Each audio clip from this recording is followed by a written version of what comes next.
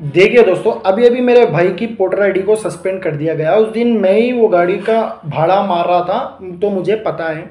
हुआ क्या था दोस्तों कि मैंने एक ड्रॉप उठाया था, जैसे कि मैं आपको स्क्रीन शॉट यहाँ पर बता देता हूँ।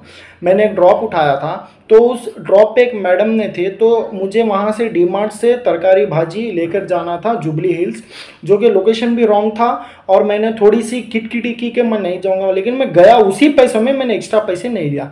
तो वो कस्टमर ने क्या किया, मेरे खिलाफ कंप्लेंट लगा के मैंने उनसे एक्स्ट्रा हंड्रेड रुपीज़ चार्जेस लिया, जो कि ये झूठ है।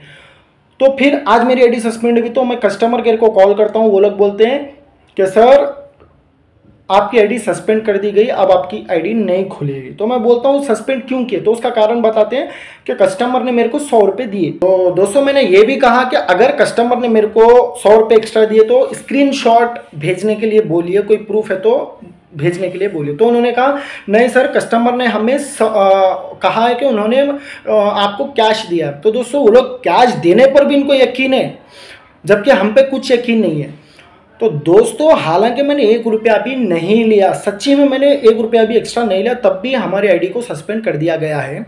दोस्तों एक एग्ज़ाम्पल देता हूँ। ये लोग ही बोलते हैं कि ऑर्डर कैंसिल मत करो। अगर कुछ भी ओवर ओवरलोड होता है तो आपकी म्यूचुअल अंडरस्टैंडिंग से आप वो लोड को लेकर जाओ। आपको कुछ नहीं हुआ। ले, अगर हम मान लीजिए, अगर लेकर भी जाएँगे तो एक्स्ट्रा चार्जेस के लिए ये लोग फिर सस्पेंड करेंगे। तो मैं आपसे कहना चाहता हूँ म्यूचुअल अंडरस्टैंडिंग से भी ऑर्डर को मत लेकर जाइए। पहले तो मैं आपको ये बोलूँगा कि पोर्टल में भाड़ा मारो ही मत। सबसे घटिया एप्लीकेशन है, इसको बॉयकआउट करना चाहिए। इतना बेकार एप्लीकेशन है। सिर्फ़ कस्टमर को बाप बनाता है, उसका बेटा ये बनता है। गालियाँ तो ऐसी आ रही है, मैं दे नहीं सकता, ये वीडियो यूट्यूब पर अपलोड होगी।